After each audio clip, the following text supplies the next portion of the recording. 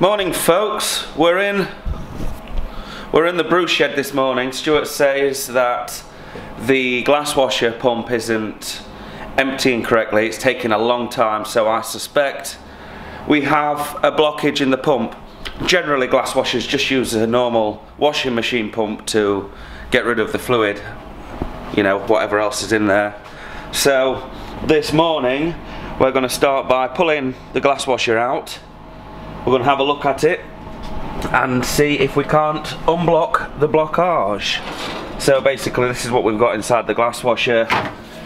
You have a basket to put all your glasses in, obviously. And then on the inside of that, yeah, you can see there's still some water left in there. So this tray sits on the top to catch any large particles should you get a broken glass or something. And then you have two jets top and bottom which recirculate and spray the cleaning water which stays in this tank here that's got a heating element. You can just about see it I think with this light. And then after that cycle's complete there's another tank underneath which holds rinse water which is also heated. And then that sprays up and rinses the detergent off the glasses going then into the reservoir to be used as cleaning water so the detergent and the rinse aid are recycled. And then after that it will fill up obviously with a bit more water from the rinse so at the same time it will pump a little bit of water out giving you a constant turnover of water in the glass washer so you don't have to manually drain. But at the end of the night uh, at the end of the night we normally drain the glass washers there's a power button. So that's the drain button. So you can hear yeah so looking at that, there's a little air vent pipe in that top corner there. You can just make it out, it's dark I know. So if I press the button, you can see it squirting out.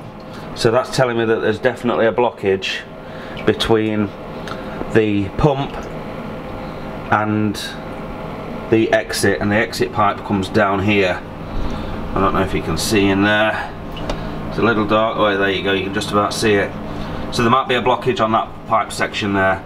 So we'll zip her off and have a look. I'm to have to put the camera down for this of course. But because it's pumping out quite firmly there, that's sort of telling me that the pump is pumping. So I think the blockage is further down the line. Well conveniently the blockage was at the no return valve on the outlet there. Just little bits of stalk and peel from oranges and limes which Stuart puts in in the gins. So what I'm going to do while I'm here, and that took me no time at all, is I'm going to service the jets on this.